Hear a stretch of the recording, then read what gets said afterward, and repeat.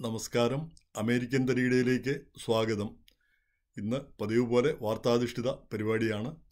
ആദ്യമേ ചില നല്ല കാര്യങ്ങൾ പറയാം. പ്രധാനമായിട്ടും സ്റ്റിമുലസ് ചെക്ക്. അമേരിക്കയിലുള്ള മിക്കവാറും ഉള്ളവർക്ക് കിട്ടാവുന്ന ഒരു കാര്യമാണ് ആയിരത്തി നാനൂറ് ഡോളർ വീതമുള്ള സ്റ്റിമുലസ് ചെക്ക്. പ്രസിഡന്റ് ബൈഡൻ ആ വൺ പോയിന്റ് നയൻ ട്രില്യൺ ഡോളറിന്റെ റിലീഫ് പാക്കേജിൽ നാളെ ഒപ്പിടും. അപ്പോൾ അടുത്ത ആഴ്ചത്തേക്ക് നമുക്ക് പ്രതീക്ഷിക്കാം. കഴിഞ്ഞ തവണയൊക്കെ കിട്ടിയവർക്ക് തീർച്ചയായിട്ടും കിട്ടും. അത് എല്ലാവർക്കും അറിയാവുന്ന പോലെ എഴുപത്തി എഴുപത്തയ്യായിരം രൂപ വരെ ശമ്പളമുള്ള വ്യക്തിക്കും അത് എൺപതിനായിരം വരെ ആകാം. അന്നേരം പിന്നെ തുക കുറയും. ദമ്പതികളാണെങ്കിൽ ഒരു ലക്ഷത്തി അമ്പതിനായിരം. പിന്നെ ഒരു ലക്ഷത്തി അറുപതിനായിരം വരെ പോകാം. തുക കുറച്ച് കുറയുമെന്ന് മാത്രം. ബാക്കി ആർക്കും കിട്ടത്തില്ല. അപ്പം മുൻ നേരത്തെ കിട്ടിയ എല്ലാവർക്കും ഇത്തവണ കിട്ടണമെന്നില്ല. ഏതാണ്ട് പത്ത് മില്യണിൽ കുറവ് ആളുകൾക്കാണ് ഇപ്രാവശ്യം കിട്ടുമെന്നാണ് പറഞ്ഞിരിക്കുന്നത് എങ്കിലും ധാരാളം പേർക്ക് കിട്ടും. കിട്ടുന്നവർക്ക് പിന്നെ സന്തോഷകരമായൊരു കാര്യം. അതിന് പുറമെ പലവിധ ആനുകൂല്യങ്ങളുണ്ട്. ഈ ബില്ലിൽ നമ്മൾ വിചാരിക്കാത്ത പലവിധ ആനുകൂല്യങ്ങൾ രാജ്യത്തെ കാരണം ഇത്രയും വൺ പോയിന്റ് നയൻ ട്രില്യൺ എന്ന് പറയുമ്പോൾ നമുക്കൊന്നും ചിന്തിക്കാൻ പറ്റാ പറ്റാത്തത്ര തുകയാണ്. അതിനെപ്പറ്റി ഒരു കണക്ക് കണ്ടത് രണ്ടാം ലോക മഹായുദ്ധത്തിന് നാലര നാലര ട്രില്യൺ ഡോളറാണ് ചിലവാക്കിയത്. നേരെ മറിച്ച് ഈ കൊറോണ റിലീഫ് പാക്കേജുകളെല്ലാം കൂടി അഞ്ചര ട്രില്യനായി ഇതൂടെ വരുമ്പോഴത്തേക്ക്. അപ്പോഴത്തേക്ക് അത്രയധികം തുകയാണ് ഈ ഒരു വർഷത്തിനിടയിൽ അമേരിക്കയിൽ വിതരണം ചെയ്യപ്പെട്ടത്. അപ്പോൾ അത് എക്കോണമിയെ എക്കോണമിയെ വളർത്തും. പിന്നെ ആളുകൾക്കിടയിൽ ആളുകൾക്ക് പിന്നെ ആളുകൾക്ക് പിന്നെ സാധനങ്ങൾ വാങ്ങാനും അത് ചിലവഴിക്കാനും ആവേശം കിട്ടും എന്നാണ് പറയുന്നത്. എക്കോണമി മെച്ചപ്പെടുത്തും. അതേസമയം തന്നെ ഇതുമൂലം ഇൻഫ്ലേഷൻ നാണയപ്പെരുപ്പം ഉണ്ടാകും. രൂപയുടെ ഡോളറിന്റെ വില കുറയും എന്ന് ആശങ്കപ്പെടുന്നുമുണ്ട്. പക്ഷേ അങ്ങനെയൊന്നും വരില്ല എന്നാണ് വിദഗ്ധർ പറയുന്നത്. എന്തായാലും വിദഗ്ധർ പറയുന്നത് നമുക്ക് തൽക്കാലം കേൾക്കാം. പിന്നെ വിദഗ്ധർ തന്നെയാണ് കൊറോണ വന്നപ്പോഴും പലതും പറഞ്ഞത് ഏയ് ഒന്നും പേടിക്കണ്ട. യാതൊരു കുഴപ്പമില്ല മനുഷ്യരിലേക്ക് പകരുകയില്ല.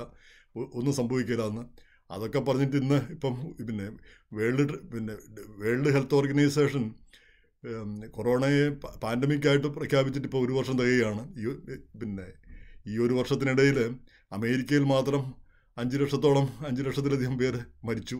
അപ്പം വിദഗ്ധർ ആദ്യം പറയും ഒന്ന് പറയും പിന്നെ മാറ്റി പറയും അതങ്ങനെയാണല്ലോ പറഞ്ഞിട്ടും കാര്യമില്ല. ഇനി ഈ സ്റ്റിമുലസ് ചെക്കിൽ ഉള്ള ചില കാര്യങ്ങൾ നമുക്ക് എല്ലാവർക്കും താല്പര്യമുള്ളതായതുകൊണ്ട് ഞാനത് പിന്നെ ഈ മലയാളിയിലും കൊടുത്തിട്ടുണ്ട് അതിനെപ്പറ്റി കുറച്ച് പിന്നെ ഒന്ന് പറയുകയാണ്. ഒന്ന് ഈ സ്റ്റിമുലസ് ചെക്ക് വീട്ടിൽ ഈ ദമ്പതികൾ അവരുടെ മക്കൾ രണ്ടുപേരുണ്ടെങ്കിൽ അവർക്കും കിട്ടും. പിന്നെ രണ്ടോ അതിൽ കൂടുതലോ ഉണ്ടെങ്കിൽ അവർക്കും കിട്ടും. പിന്നെ അവർ കോളേജിലാണെങ്കിലും അവർക്കും കിട്ടും ഈ പൈസ. സ്റ്റിമുലസ് ചെക്ക് അവർക്കും കിട്ടും. പക്ഷേ അത് ആ മാതാപിതാക്കളുടെ ടാക്സ് കൊടുക്കുന്ന ആളാരോ അവരുടെ പേരിലായിരിക്കും ആ തുക വരിക. ഇനി വീട്ടിൽ ഒന്നും ചെയ്യാതിരിക്കുന്ന കാരണവന്മാരുണ്ടെങ്കിൽ ഒരു അവസരമായ കാരണവന്മാരുണ്ടെങ്കിൽ അവർക്കും പൈസ കിട്ടും. അപ്പോൾ അതും ആ പിന്നെ ടാക്സ് ടാക്സ് പേപ്പർ ആരുടെ പേരിലാണോ അവർക്കാണ് കിട്ടുക. അപ്പോൾ അതൊരു മാറ്റമാണ്. പിന്നെ കോളേജിലൊക്കെ പഠിക്കുന്ന പിള്ളേർക്ക് കിട്ടുന്ന പ്രാവശ്യം ഒരു മാറ്റമാണ്. ഇനി പിന്നെ ഇനി ചില കാര്യങ്ങൾ ഈ കഴിഞ്ഞ വർഷം അതായത് രണ്ടായിരത്തി പത്ത് പത്തൊമ്പതിലെ ടാക്സ് കുറവായത് അതുകൊണ്ട് തുക കിട്ടി. പക്ഷേ ഈ വർഷം തുക കൂടുതലാണ്. ഇൻകം കൂടുതലാണ്. ഈ എഴുപത്തയ്യായിരത്തിനും അല്ലെ ഒന്നര ലക്ഷത്തിലും അതിനേക്കാൾ കൂടുതലാണ്. അങ്ങനെയുള്ളവർക്ക് തുക അപ്പോൾ ഈ വർഷം തുക കിട്ടിക്കഴിഞ്ഞാൽ കഴിഞ്ഞ വർഷത്തെ ടാക്സ് വെച്ച് തുക കിട്ടിക്കഴിഞ്ഞാൽ പക്ഷേ ഈ വർഷം നമുക്കത് അർഹതയില്ലതാനും. അങ്ങനെയാണെങ്കിൽ എന്തെങ്കിലും പ്രശ്നം ഉണ്ടാകുമോ പ്രശ്നമൊന്നും ഉണ്ടാകുകയില്ല കാശ് കിട്ടിയാൽ അത് പോക്കറ്റിട്ടാൽ മതി. സർക്കാർ അത് തിരിച്ചൊന്നും ചോദിക്കാൻ പോകുന്നില്ല. അതാണ് ഒരു നല്ല കാര്യം. ഇനി ഈ പിന്നെ ഇനി ഇനി കഴിഞ്ഞ വർഷത്തെ ടാക്സ് കൂടുതലായിരുന്നു. കഴിഞ്ഞ വർഷം നമുക്ക് അർഹതയില്ലായിരുന്നു. പക്ഷേ ഈ വർഷത്തെ ടാക്സിൽ നമ്മുടെ ശമ്പളം കുറഞ്ഞു. അതുകൊണ്ട് ഈ വർഷത്തെ കണക്ക് കൂട്ടുമ്പോൾ നമുക്ക് അർഹതയുണ്ട്. പക്ഷേ ഇതുവരെ നമ്മൾ ടാക്സ് ഫയൽ ചെയ്തിട്ടില്ല. അപ്പോൾ എന്ത് ചെയ്യണം? അപ്പോൾ അതിന്റെ മറുപടി പറയുന്നത് നിങ്ങൾ ധൃതി പിടിച്ച് പിന്നെ പറ്റുമെങ്കിൽ ഫയൽ ചെയ്യുക. ഇത് വരുന്നതിന് മുമ്പ് ഫയൽ ചെയ്യുക. ഫയൽ ചെയ്തില്ലെങ്കിലും കുഴപ്പമില്ല. ധൃതി പിടിക്കേണ്ട. തെറ്റൊന്നും വരുത്തേണ്ടതില്ല.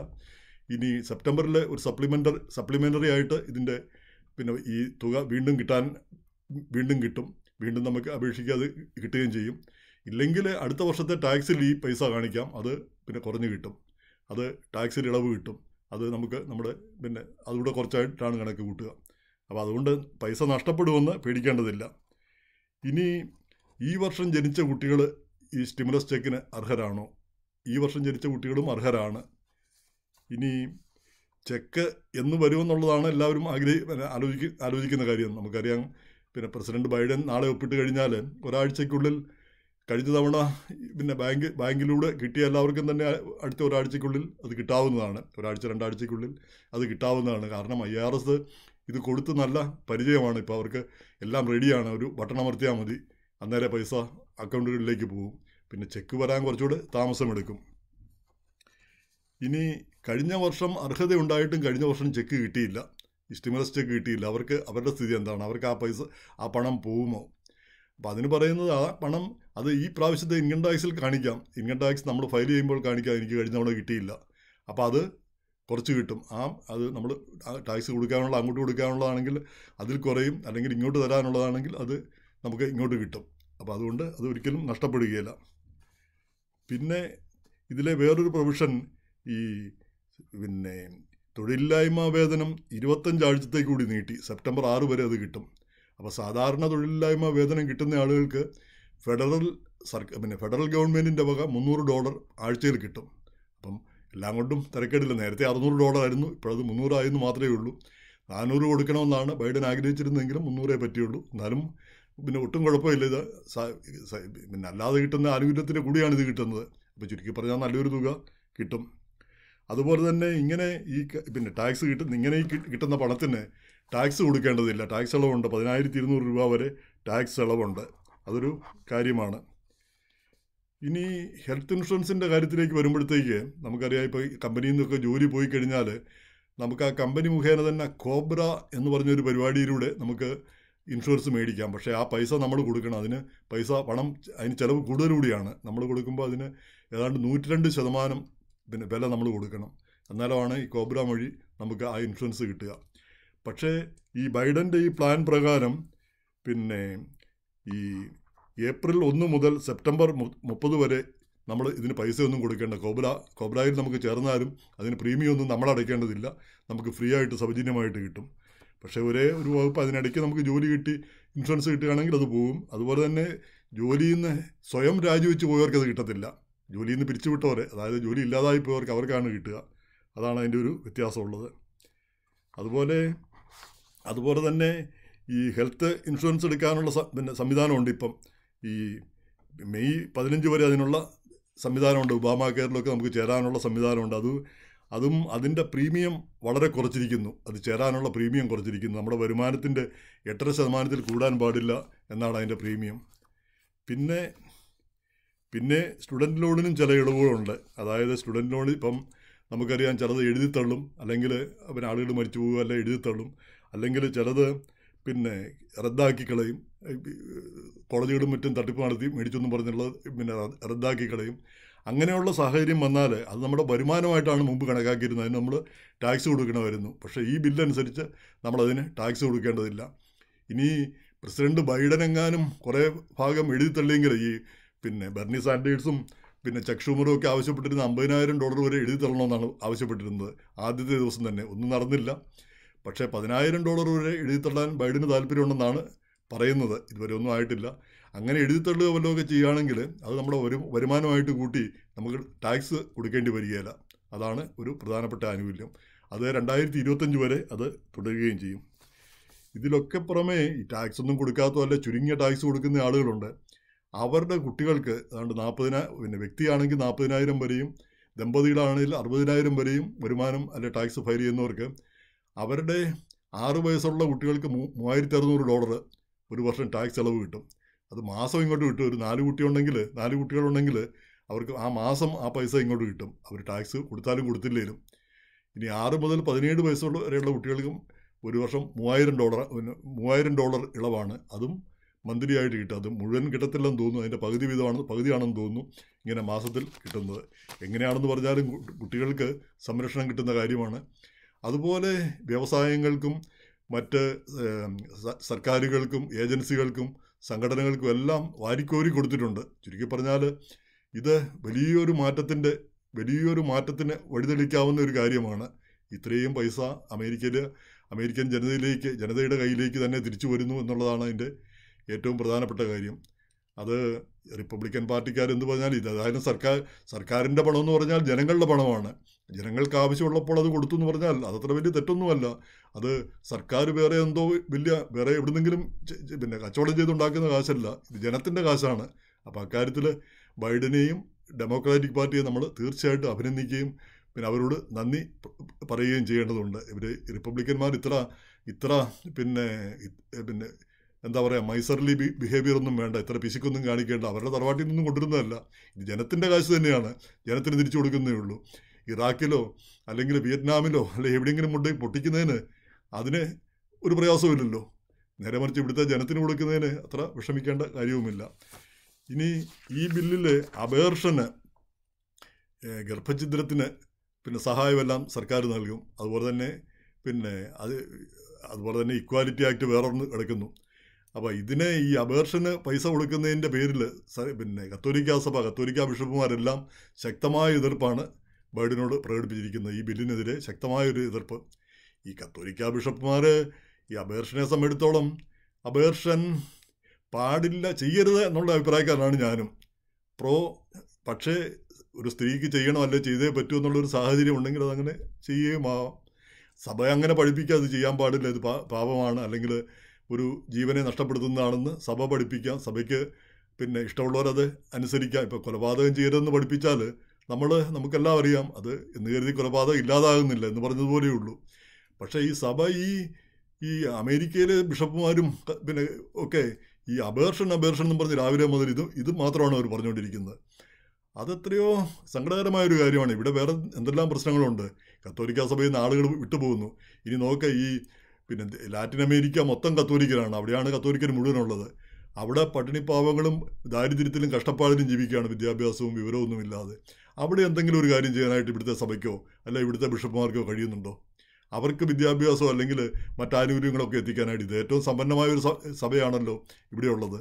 അപ്പോൾ അങ്ങനെയുള്ള പ്രധാനപ്പെട്ട കാര്യങ്ങൾ ശ്രദ്ധിക്കാതെ ഇങ്ങനെയുള്ള നയപരമായ കാര്യങ്ങളിൽ നമ്മുടെ അഭിപ്രായം പറയുക ചെയ്യരുത് എന്ന് പറയുക എന്നല്ലാതെ സഭ അതിനൊരു ഒരു രാഷ്ട്രീയ വൽക്കരിക്കുന്നത് ഒരിക്കലും ശരിയല്ല. അത് തന്നെ അതിന്റെ പേരിൽ രാഷ്ട്രീയക്കാരെ കുറ്റപ്പെടുത്തുക അല്ലെങ്കിൽ ഒറ്റപ്പെടുത്തുക അവർക്ക് വിശുദ്ധ കുർബാന കൈക്കൊള്ളാൻ പറ്റിയല്ല എന്ന് പറയുക അല്ലെ പിന്നെ പള്ളിയിൽ അംഗത്വം പറ്റില്ല. ആ രീതിയിൽ അത് ഒരിക്കലും ശരിയാണെന്ന് എനിക്ക് തോന്നുന്നില്ല. സഭ പിന്നോക്കം വാങ്ങിയിട്ട് ഈ പിന്നെ മറ്റു കാര്യങ്ങൾ ശ്രദ്ധിക്കുകയാണ് വേണ്ടതെന്ന് തോന്നുന്നു. ബിഷപ്പുമാരൊക്കെ എത്രയോ വലിയ കാര്യങ്ങൾ ചെയ്യാറുണ്ട്. ഇവിടെ പട്ടിണി പാവങ്ങളും ഇത്രയും സമ്പന്ന രാജ്യത്ത് ഉണ്ടായിരിക്കുന്നു.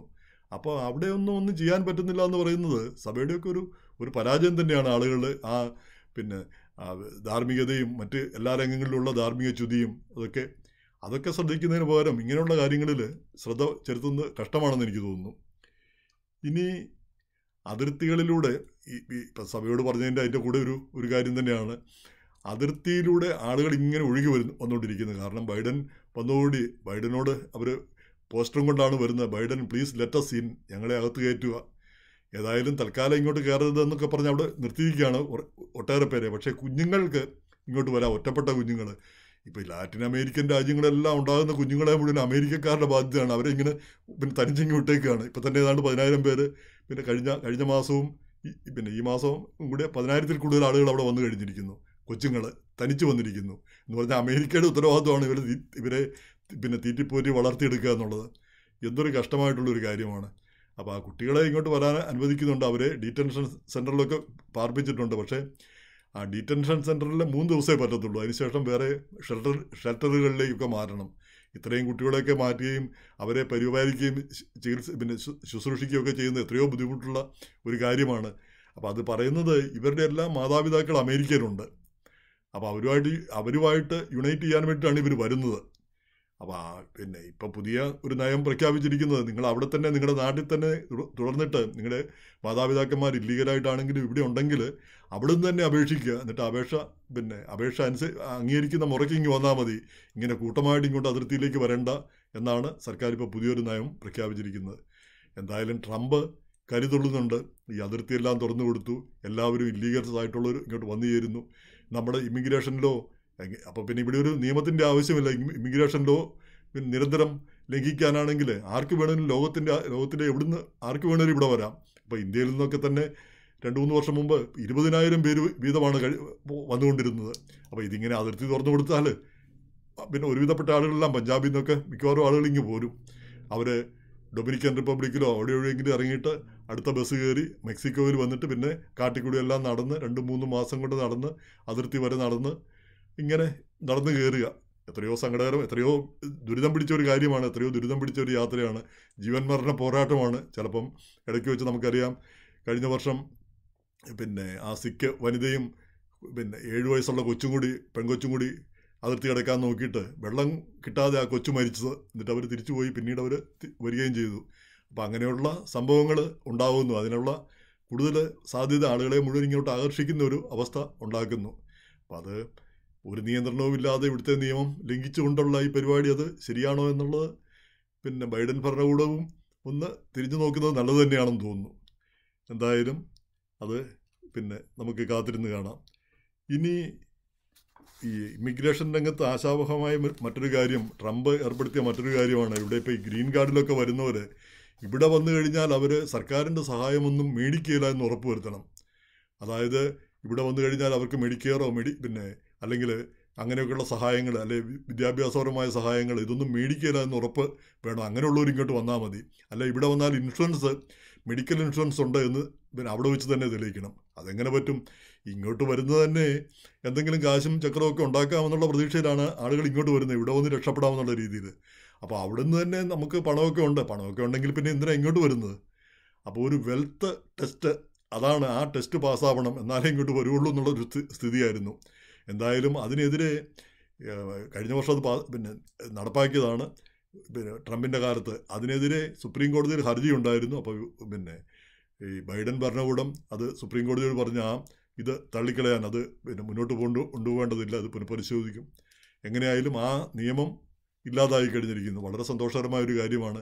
കാരണം ഈ നിയമത്തിന്റെ പേരിൽ ഇവിടെ ഗ്രീൻ കാർഡിനൊക്കെ അപേക്ഷിച്ചിരുന്ന പലരും അവർക്ക് കിട്ടുന്ന പല ആനുകൂല്യങ്ങളും കുട്ടികൾക്ക് കിട്ടിയിരുന്ന ആനുകൂല്യങ്ങൾ അല്ലെങ്കിൽ പിന്നെ മറ്റ് സഹായങ്ങൾ മെഡിക്കൽ സഹായങ്ങൾ ഇതിനൊന്നും പോകാൻ ധൈര്യമില്ലായിരുന്നു. കാരണം ഇതൊക്കെ അവരുടെ റെക്കോർഡിൽ വന്നു കഴിഞ്ഞാൽ പിന്നെ അവർക്ക് ഇമിഗ്രേഷൻ കിട്ടത്തില്ല ഗ്രീൻ കാർഡ് കിട്ടത്തില്ല. അതുകൊണ്ട് അവരെല്ലാം പേടിച്ചതെല്ലാം ക്യാൻസൽ ചെയ്തിരിക്കുകയായിരുന്നു എന്തായാലും അവർക്ക് ധൈര്യപൂർവം ഇനി ഗ്രീൻ കാർഡ് പിന്നെ ഇങ്ങനെയുള്ള ആനുകൂല്യങ്ങൾ മേടിക്കാം. അത് ഗ്രീൻ കാർഡിനെ ഒന്നും ബാധിക്കുകയില്ല. ആ പബ്ലിക് ചാർജ് നിയമം ഇല്ലാതായി കഴിഞ്ഞിരിക്കുന്നു. അപ്പോൾ അത് ഇങ്ങനെയുള്ള ക്രൂരമായ നിയമങ്ങൾ ഇപ്പോൾ കുട്ടികളെ വേർപെടുത്തുന്നതും ഈ പബ്ലിക് ചാർജ് നിയമം അങ്ങനെയുള്ള ക്രൂരമായ നിയമങ്ങളൊക്കെ ഈ ട്രംപും അദ്ദേഹത്തിന്റെ പിന്നെ അദ്ദേഹത്തിന്റെ ഇമിഗ്രേഷന്റെ ആളായിരുന്ന സ്റ്റീഫൻ മില്ലറും ഒക്കെ കൂടെ കൊണ്ടുവന്നു എന്ന് പറഞ്ഞാൽ ഒരു മനുഷ്യത്വരഹിതമായ കാര്യങ്ങൾ. ഈ അനിയന്ത്രിതമായ ആളുകൾ വരുന്നതിനെ നിയന്ത്രിക്കണം എന്ന് പറയുമ്പോൾ തന്നെ മനുഷ്യത്വരഹിതമായ തീരുമാനങ്ങൾ നയങ്ങൾ അത് എങ്ങനെ അംഗീകരിക്കാൻ പറ്റും? എത്ര ഹീനമായിട്ടുള്ള കാര്യങ്ങളാണ് അതൊക്കെ ചെയ്തത്. തീർച്ചയായിട്ടും അതിന്റെയൊക്കെ പാവങ്ങൾ അവരുടെ അവർക്ക് തീർച്ചയായിട്ടും കിട്ടാതിരിക്കില്ല എന്ന് നമുക്ക് കരുതാം. ഇനി കേരളത്തിലെ ചില കാര്യങ്ങളെപ്പറ്റി പറയുമ്പം പി സി ചാക്കോ പിന്നെ കോൺഗ്രസ് വിട്ടുപോയി. സന്തോഷം ചാക്കോ ചേട്ട വേറെ പണിയൊന്നുമില്ല ഈ വയസ്സുകാലത്ത്. വല്ല പൊടിയരിക്കഞ്ഞിയൊക്കെ കുടിച്ച് വീട്ടിലിരിക്കുന്നതിന്. ഇനി കൂടെ വയലാർ രവി പിന്നെ അങ്ങനെ കുറേ കടൽക്കിഴവന്മാരുണ്ട് കേരളത്തിൽ പിന്നെ പി ജെ കുര്യൻ മറ്റേ മറിച്ച് അങ്ങനെയൊക്കെയുള്ള ആളുകൾ വേണമെങ്കിൽ ഉമ്മൻചാണ്ടിയും കൂടെ കൊണ്ടുവന്നതിന് വിരോധമൊന്നുമില്ല. പ്രായമൊക്കെ ആയതാണ്. പിന്നെ കാര്യം വലിയ സ്ട്രോങ് ആയിട്ട് നിൽക്കുന്നതാണെങ്കിലും ഇങ്ങനെ കുറേ പേര് അങ്ങ് ഒഴിഞ്ഞു പോട്ടെ. സന്തോഷപൂർവം ഒഴിഞ്ഞു പോട്ടെ. നിങ്ങൾ പോവുകയോ ഏതെങ്കിലും പാർട്ടി പോവുകയോ പാർട്ടി പോകാതിരിക്കുകയോ എന്തെങ്കിലും ചെയ്ത് കിടക്കുക ആ കോൺഗ്രസ് രക്ഷപ്പെട്ടു പോട്ടെ. എന്തായാലും മാർക്സിസ്റ്റ് പാർട്ടി ഇപ്പോൾ പിന്നെ രണ്ട് തവണ ജയിച്ച ആളുകൾക്ക് വീണ്ടും സീറ്റ് കൊടുക്കുന്നില്ല എന്ന് പറയുന്നത് എത്രയോ നല്ലൊരു തീരുമാനമാണത്. ഒരു എത്ര എത്ര പ്രഗത്ഭമതിയാണെന്ന് പറഞ്ഞാലും ഈ രണ്ട് വർഷം കൊണ്ട് ഉണ്ടാക്കാവുന്നതൊക്കെ ഉണ്ടായിക്കണം. അല്ലെങ്കിൽ പിന്നെ കാര്യം പോയി അത് നന്നായി ഒരു തീരുമാനം മുൻകൂട്ടി വന്നത് നന്നായി. അപ്പോൾ അവരുണ്ടാക്കാനുള്ളതൊക്കെ ആ രണ്ട് ടേം കൊണ്ട് ഉണ്ടാക്കിയിരിക്കണം. അത് കഴിഞ്ഞാൽ പിന്നെ പിന്നെ നാട്ടിൽ കൂടെ തേരാപ്പാര കാരണം കൃത്യമായ ജോലിയൊന്നും മിക്കവർക്കും കാണില്ല. അപ്പോൾ നാട്ടിൽ കൂടെ തേരാപ്പാറ നടക്കുമ്പോൾ ജീവിക്കാനൊരു വഴി ഉണ്ടാക്കണമല്ലോ. കോൺഗ്രസിനും അങ്ങനെ ഒരു തീരുമാനമൊക്കെ ഉണ്ടാകേണ്ടത് ഉണ്ടാകേണ്ട കാലം കഴിഞ്ഞിരിക്കുന്നു.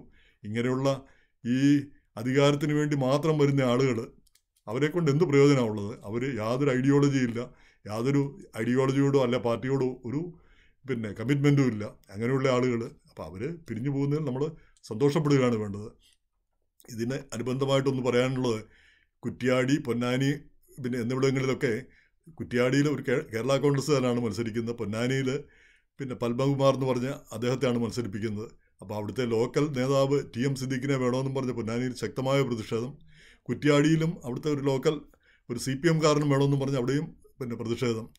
അപ്പോൾ അതിന്റെ രണ്ട് പിന്നെ രണ്ട് വാദം കണ്ടു. ഒന്ന് ഇവിടെയൊക്കെ മുസ്ലിങ്ങൾ ധാരാളമുള്ള സ്ഥലമാണ്. പൊന്നാനിയൊക്കെ മുസ്ലിം ഭൂരിപക്ഷമുള്ള സ്ഥലമാണ്. അപ്പോൾ അവിടെ ഒരു മുസ്ലിം തന്നെ വേണമെന്നുള്ളത് ആണ് അവരുടെയൊക്കെ മനസ്സിലിരിക്കുന്നത്. പാർട്ടി ഏതായാലും മാർക്സിസ്റ്റ് പാർട്ടി ആയാലും കമ്മ്യൂണിസ്റ്റ് പാർട്ടി പിന്നെ കോൺഗ്രസ് ആയാലും കഴിയുന്നത്ര എം എൽ എമാർ മുസ്ലിങ്ങളായിട്ട് വരണം മുസ്ലിങ്ങളെ കൊണ്ടുവരണം എന്നുള്ള പിന്നെ ഒരു താല്പര്യമാണ് അതിന് പിന്നിലെന്ന് ഒരു വിഭാഗം പറയുന്നു. വേറൊരു വിഭാഗം പറയുന്നത് ഈ പിന്നെ ഇവർക്ക് പ്രാദേശികവാദം ഇതൊരു പ്രാദേശികവാദത്തിന്റെ മറ്റൊരു കാര്യമാണ് മറ്റൊരു തലമാണ്. അല്ലെങ്കിൽ പ്രാദേശികവാദം അല്ലെങ്കിൽ ആ ഒരു ഒരു നിക്ഷിപ്ത താല്പര്യങ്ങളുടെ ഒരു പ്രതിഫലനമാണ് ഇതെന്നാണ് പറയുന്നത്. എങ്ങനെയായാലും എനിക്ക് അവരോട് പറയാനുള്ളത് നിങ്ങൾക്ക് ഈ സ്ഥാനാർത്ഥി ഇഷ്ടമില്ലെങ്കിൽ വേറൊരു സ്ഥാനാർത്ഥി എതിർ സ്ഥാനാർത്ഥിക്ക് വോട്ട് ചെയ്യുക. കാരണം ഈ സ്ഥിതി എന്താണെന്ന് ചോദിച്ചാൽ കേരളത്തിൽ നമ്മൾ നേരത്തെയൊക്കെ പറഞ്ഞുകൊണ്ടിരിക്കുന്ന പോലെ തന്നെ കോൺഗ്രസ് ആയാലും കമ്മ്യൂണിസ്റ്റ് ആയാലും വലിയ പ്രശ്നമൊന്നുമില്ല. രണ്ടും തമ്മിൽ വലിയ വ്യത്യാസമൊന്നുമില്ല. അപ്പോൾ പിന്നെ നമുക്ക് ആർക്ക് വേണമെങ്കിലും വോട്ട് ചെയ്യാം. ഇവരിൽ ആര് വേണമെങ്കിലും ഭരിക്കട്ടെ. ഇതുപോലെ ഒരു കാര്യമാണ് പിറവത്ത്. സിന്ധുമോൾ ജേക്കബ് പിന്നെ അദ്ദേഹം പിന്നെ അവർ ഇടതുപക്ഷത്തിന്റെ ആളായിരുന്നു. പക്ഷേ ഇപ്പം കോൺഗ്രസ് കേരള കോൺഗ്രസ് എമ്മിന്റെ സ്ഥാനാർത്ഥിയായിട്ട് മത്സരിക്കുന്നു. അപ്പോൾ അത് പേയ്മെന്റ് സീറ്റാണ് കാശ് കൊടുത്ത് മേടിച്ചാണെന്നാണ് പിന്നെ ചിലർ പറയുന്നത്. അങ്ങനെയാണെങ്കിൽ നമുക്ക് ചെയ്യേണ്ട ഒരു കാര്യം സ്ഥാനാർത്ഥി അവർ മാത്രമല്ല സ്ഥാനാർത്ഥി എതിർ സ്ഥാനാർത്ഥിയും കാണുമല്ലോ. അപ്പോൾ അത് മാത്രം ഒന്ന് ഓർത്ത് വെക്കുക. സ്ഥാനാർത്ഥി നമുക്ക് ഇഷ്ടപ്പെടാത്ത സ്ഥാനാർത്ഥിയാണെങ്കിൽ നല്ല സ്ഥാനാർത്ഥി അല്ലെങ്കിൽ നമുക്ക് എതിർ സ്ഥാനാർത്ഥിക്ക് വോട്ട് ചെയ്യാം. കാരണം നമുക്കൊരു ചോയ്സ് ഉണ്ട് ഇപ്രാവശ്യം. പണ്ടത്തെ പോലെയല്ല. മാർക്സിസ്റ്റ് വന്നാലും കോൺഗ്രസ് വന്നാലും നമുക്ക് പ്രശ്നമൊന്നുമില്ല എന്നുള്ളതാണ് നമ്മൾ മനസ്സിലാക്കേണ്ട ഒരു കാര്യം. ഇത്രയുമാണ് ഇന്നത്തെ തെരുകിടയിൽ സംസാരിക്കുന്നത്. നാളെ മറ്റൊരു വിഷയവുമായി നമുക്ക് വീണ്ടും കാണാം. ഈ ഷോ കാണുന്ന എല്ലാവർക്കും നന്ദി. നിങ്ങളുടെ അഭിപ്രായങ്ങളും എതിരഭിപ്രായങ്ങളും അറിയിക്കുക. Editor at e Malayali dot com. ഒരിക്കൽ കൂടി എല്ലാവർക്കും നമസ്കാരം.